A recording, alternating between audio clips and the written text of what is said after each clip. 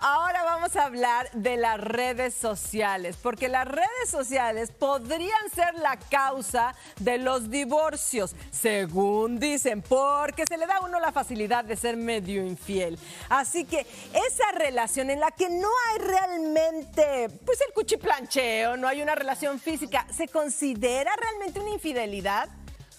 ¿Qué dicen ustedes? Yo te- hay un término para eso. ¿Qué No, pero si es así, entonces todos somos infieles. Ah. Claro, yo tengo mensajes de la chiquita, de mi chef, te extraño, mi chef. Señores, fuertes revelaciones. Fuertes revelaciones, señores. Señor, te Por andarla balconeando. Entonces, para Rafa eso no es una infidelidad. No, para nada. Para ti, Daniel. Mira, más que infidelidad me parece que es como, como una falta de, no sé si decir de respeto, pero sí como de tacto. Porque si uno está con una persona, no tiene por qué estar con otra o otras ahí de, qué linda estás, oye, qué hermosa estabas hoy. Y el like. Ajá, pero Ah, cuando a el ti like te yo no veo escriben- tanta, tan, o sea, el like es de que está en bikini mostrando el cuerpo porque Ajá, lo vas a- exacto, ese pero tipo si el like like. desde un mensaje que tiene algún mensaje bonito, algo de trascendencia, no tiene nada de malo, pero si le estarse hablando, chateando como que ¿y tú qué? ¿y cómo vas? Me parece que es innecesario. Yo digo que abramos los teléfonos y ahí Abramos. resolvemos todo. Venga, vamos, A venga. ver, Bueno. ¿por qué no vamos directamente a Nueva York nada más para ver qué dice la gente, Johnny? ¿Es una infidelidad? Definitivamente le voy a preguntar a la gente de Nueva York. Ahora, textearse, escribirse por las redes sociales, ¿eso es ser infiel? ¡Sí! Why? I know, I know, I know. Why? Because it's wrong. Porque es, está mal. Ok, otra persona por aquí. ¿Por qué eso está mal? Bueno, porque eso desencadena que luego te monten los cuernos, obvio. Entonces, eso, eso va por ahí. ¿Y usted? ¿Y usted?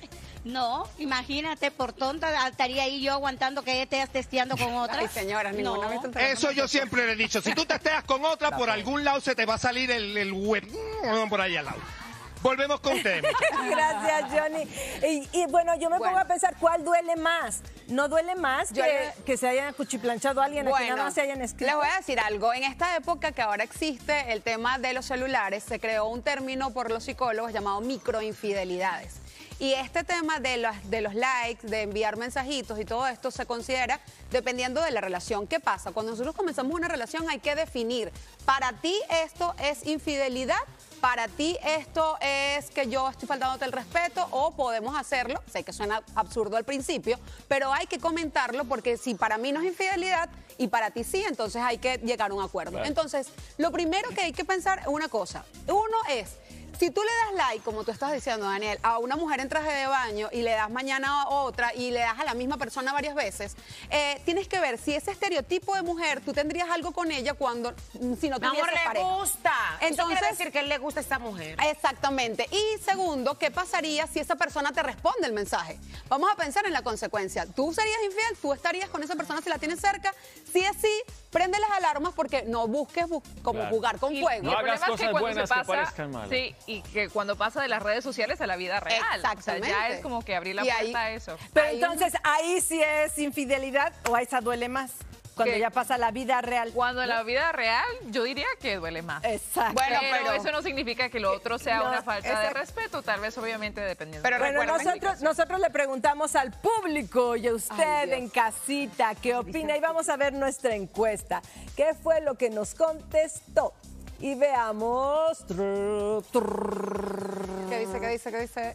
Yo estoy seguro que les va a parecer que sí. dice que, que no, que no son infieles. Siga testeándose. bueno, 50-50 para ponernos de acuerdo. Pero bueno, pues ya para terminar, gracias, gracias, ustedes. Y como siempre, ahora mi super frase le puedo decir que como dijo precisamente nuestro chef Rafa, el que esté libre de pecado, que muestre su celular desbloqueado. No hay de otra.